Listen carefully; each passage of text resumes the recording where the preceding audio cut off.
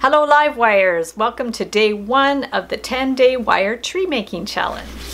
Today's project was inspired by a collection I made in 1990 for the National Gallery of Canada. They were having an exhibition of work of iconic Canadian artist Emily Carr. I used some of the imagery from her paintings to create a collection of earrings. So the one we're going to focus on today is the tree, very typical of her style. I also had done a church, totem pole, and the iconic raven. In 2007, the Musée des Beaux-Arts in Montreal had an exhibition of Emily Carr work as well, and so I revisited the designs and made a collection of necklaces uh, with the same types of designs. So here's the tree here, and we are going to do something similar with a couple of other variations today. So I'm going to take two pieces of 20 gauge wire that are about 8 inches long. You can cut them longer or shorter depending on how big you want your earrings. So we're going to hold them together. We're going to do two at once and we're going to bend that one straight up and then just give it a little smooth uh, with our finger. We'll hold it a little further down to decide on the width of the trunk and then we're going to bend that one up and the same thing we can just go around to do the starting point of the trunk. You can use wider chain nose pliers, whatever's easiest for you. So we just want to give it a little bit of a curve, so we're going to bring that one in and then up there. And then the same thing on this side, we're going to bring it in and then up. So we have a nice little curve going on there. Now then we're going to decide how high we want it. We're just going to hold that in place. The Emily Carr trees tend to be very elongated so I like to have like a long trunk but you can make them any style you want. So the idea is just to do two together.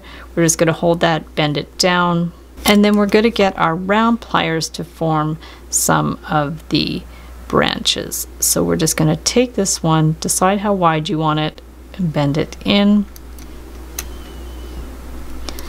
and then bring it here, bend it out. And then we're going to make that one a little longer. Let's give it a little bend, bring it back. And then we can bring this one in a little more. Bring that one back.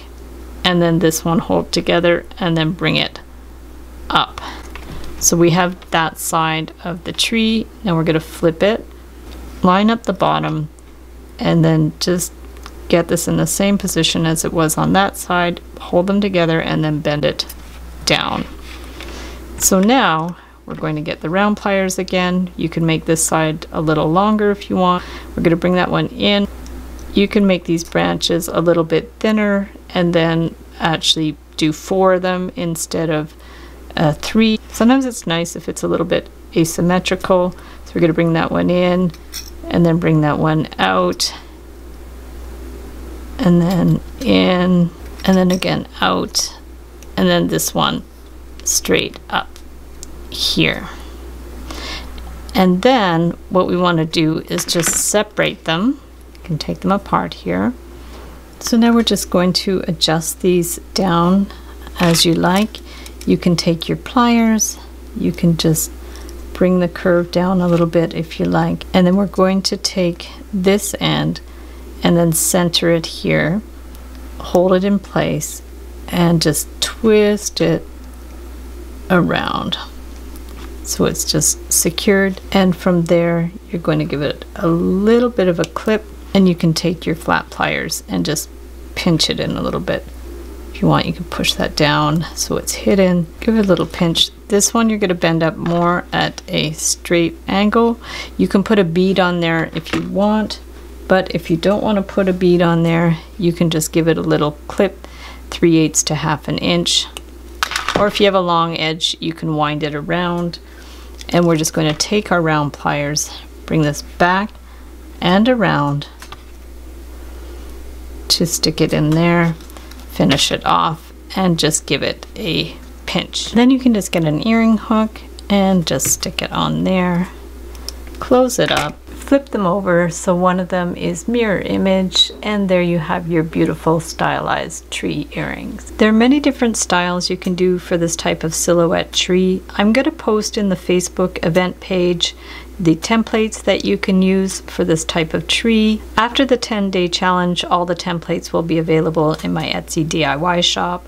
I'll link them up in the description below. Now we can do a pine tree, sort of like a Christmas tree. I'll link up below where I did a tutorial on how to make the beaded Christmas tree earrings.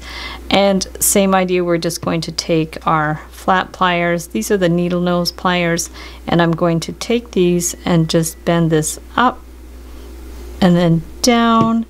And then we're just gonna go up doing little sharp angles down. And you can keep it simple, up,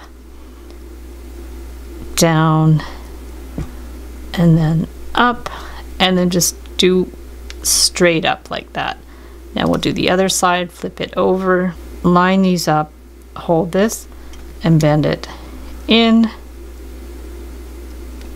out. Imagine this length is about a quarter inch unless you're making them bigger. Go in, out, in, out, and in. Then we're going to separate them, put one to the side, and as we did in the previous tree, just line this up. If you find it easier, just figure out where that little bend will be and then just put your round pliers there. This is a, one of my favorite hacks and then you just push it around to start the bend and then when you actually twist it, it's not going to deform out of shape.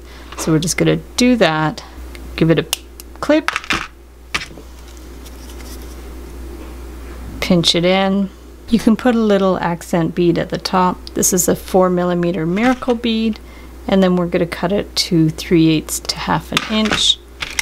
Take your round pliers, hold that there, and just bend it back, twist it, so the end just kind of goes right in there. Pinch it flat, open up the hook, stick it on, and there you go. So there are the beautiful, simple Christmas tree earrings. And I'll link up below in the description the other tutorial on how to make them embellished with beads. Thanks so much for watching the video. Be sure to join the Facebook event page to join the 10-day wire tree making challenge. If you don't have Facebook, no problem. You can email me photos of your finished work at the end of the challenge. If you create all 10 challenges, you'll be eligible to win all kinds of great prizes from Beadalon and from my Etsy shop. Details are in the description below the video. Deadline to submit a photo of all 10 of your creations is December 14th, 2021.